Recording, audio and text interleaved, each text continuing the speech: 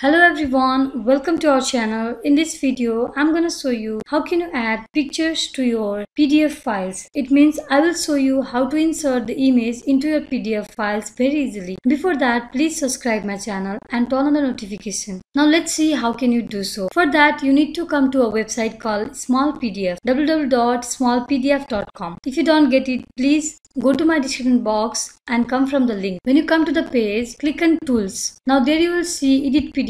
Tap on it. When you tap on edit PDF, when you come to the page where you have to select the PDF file. Now choose the PDF.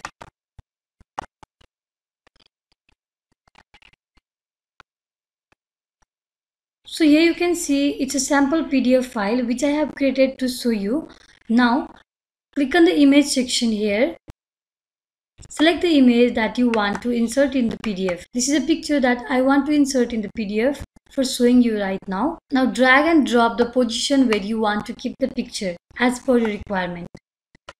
See how easily you can add the picture in your PDF it's not so difficult. You don't need to worry and you don't need to download the application as well.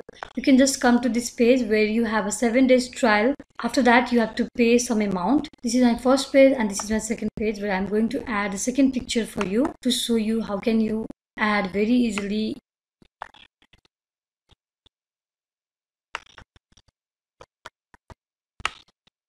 These two were the picture that I added in my PDF file very easily. Now you have to save it from here. Even you can share the file and even you can download the folder and see how it looks like. Let's try it. Okay this is a file or folder that we have downloaded and i will show you how it looks like when we have added the picture see guys how it looks like when I have added the picture in my PDF. This is how you can easily add the pictures to your PDF files in a very quick and simple method. Hope this video helped you a lot. Thank you so much for watching our videos guys. Do like, share, subscribe and comment in the comment box for further and new videos. Please comment and let us know whether you are liking our videos or not and what type of videos you want. Thank you.